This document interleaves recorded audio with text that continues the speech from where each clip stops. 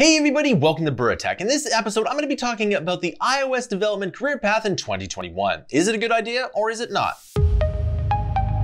All right, welcome back. For us in this video, I want to make sure that you like and subscribe. The more likes and subscribers we get, the more content we can make. The number one reason why you subscribe to this amazing channel is to get into the money-making trends before they go mainstream. So let's talk a little bit about iOS development. In a few videos ago, I did mention that iOS development was a good career path, but it has changed, and that's exactly what I'm going to talk about today. Now, a lot of people think iOS development means making an app, putting it on the App Store, selling millions of copies, and then retiring to the Cayman Islands. Well, this isn't, isn't exactly how it works, but there is a lot more demand in iOS development, which I will explain now. So one thing you have to understand about iOS development is that maybe 10, 12 years ago, you could make an app on the App Store and it would get a lot of visibility because the supply of apps was really down and mobile devices were just getting to be good and the iPhone was an amazing leap forward in terms of technology and user interface. So of course, if you wanna make a really good app or a really good game and you solve some kind of problem with this app or make a really good game, it is possible to make a lot of money. People do it all the time. And it's really good uh, if you can do this. However, it is very challenging to do this. Now, of course, the number one reason why you wanna become a programmer is to make money and have a good future. And in iOS development, it's not becoming in independent developer that's gonna make you money. It's gonna be getting a job. And the jobs for iOS developers go up and up and up. And the reason is every business needs an iOS app to support their business. Whether you're DoorDash or Uber, you need a native iPhone app to help make your service, whatever it may be, accessible on iPhones. Now, iPhones are particularly interesting because the people who buy iPhones generally tend to be a little bit more wealthy and they tend to be a little bit more loose with their money. So because of this, it's worthwhile to put that effort into an app. So let's say you're a big business and you have a really good service. You make a web app first and then you want to make an iOS app. You need to hire iOS developers and those iOS developers need to have a ton of skills. And this is the hard part about iOS development. Now, in web development, there's front end and back end developers. With iOS, you kind of need to do a little bit of both. And the thing about the iOS development platform is that it changes all the time. I remember a long time ago that you had to make storyboards in order to design your app, but now there's a new system of designing your app. So the framework is always changing and you always have to be on your toes. But what you need to understand about the iOS framework is that the UI and the back-end code work very well together and it's done like that by design. The iPhone wouldn't have been an amazing success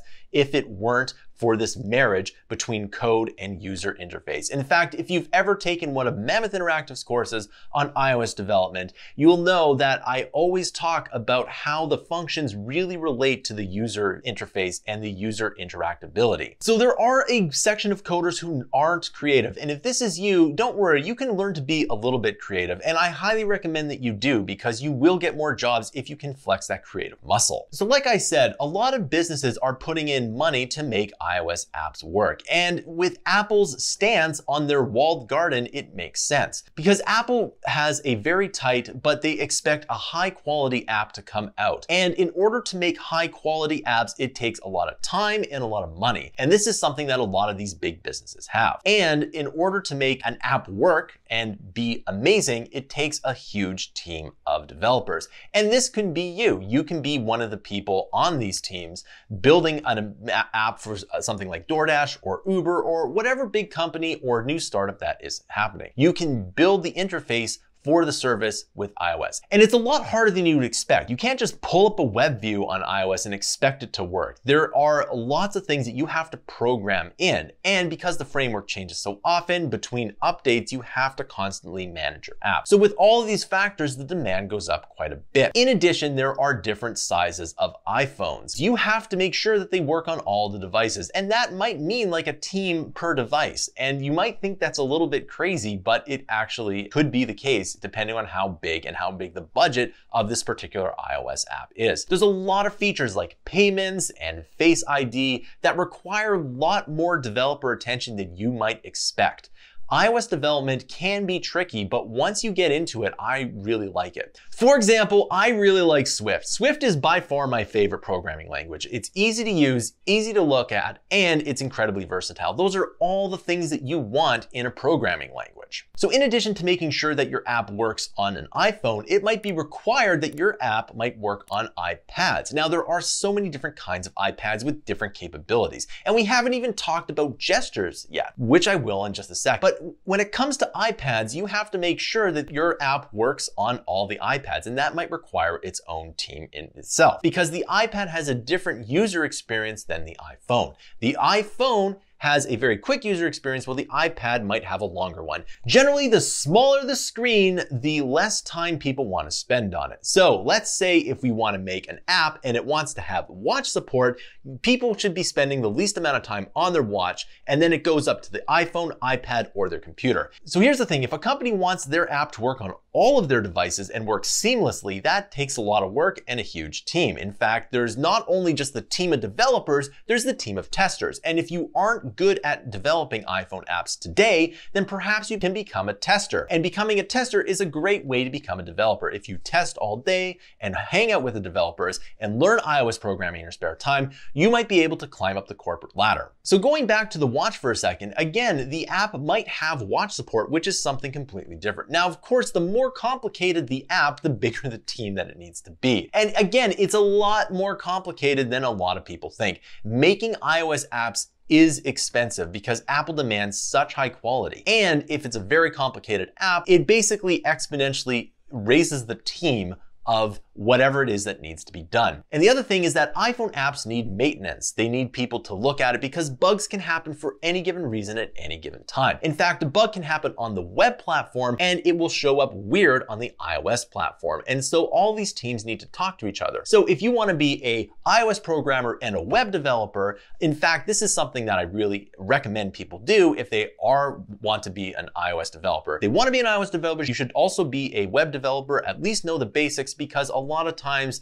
these things will talk to each other. The other thing is we haven't even talked about Android development. Now, oftentimes if there's an iPhone app, there needs to be an Android app as well. And those need to kind of talk to each other too. Now, of course, it is somewhat easy as you may have a central server that both platforms are connecting to, but you would be surprised at how many different things can occur between iOS and Android and the web. It's a lot more complicated than you think. So here's the thing about iOS development. A lot of people don't think that it's a good starter, but believe it or not, iOS development might be the best place to start to get a job as quickly as possible. The only thing that's really hard for a lot of people is mastering the UI and the function. And once you understand the bigger concept on how those two work together, then iOS development becomes really easy. Now, I've been an iOS developer for almost a decade now, and I still really like it. However, when I tell software as a service startups to start up their app, I always say, go web first, then iOS because the iOS is reserved for once your company gets bigger. But if you want to learn to code, then iOS is probably one of the best places to start because not only is the demand high, but the supply is actually surprisingly low. And believe it or not, the demand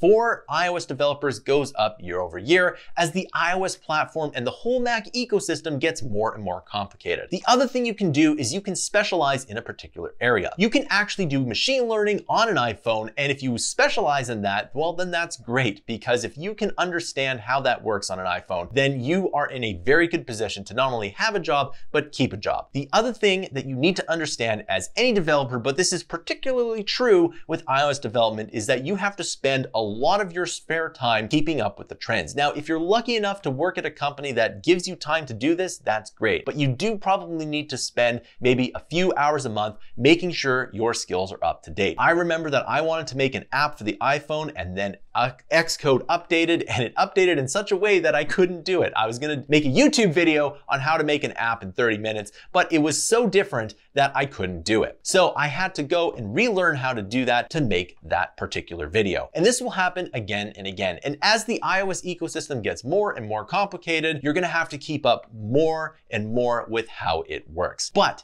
the answer to the question, should you be an iOS developer, depends on a few factors. One, are you willing to put in the time? And two, are you willing to learn some design aspects? If you're willing to do both of these two things, then yes, I would highly recommend being an iOS developer as it is a very fruitful career. Alright, so that concludes this video. Is an iOS developer a good choice? Is it better than Android? I want to know your comments down below. Remember that this channel doesn't do Patreon, instead we sell our digital products down below. The more money I get from the content that you buy below, the more content on this channel we can make. If you really like this channel, you can subscribe to Mammoth Interactive's huge library of content. We release 20 to 60 hours of fresh new content per month every single month. It really does help us out when you subscribe. We have a monthly and yearly option. Our goal is to get to 10,000 paid subscribers on Mammoth Interactive. Thanks for watching and I'll see you in another video.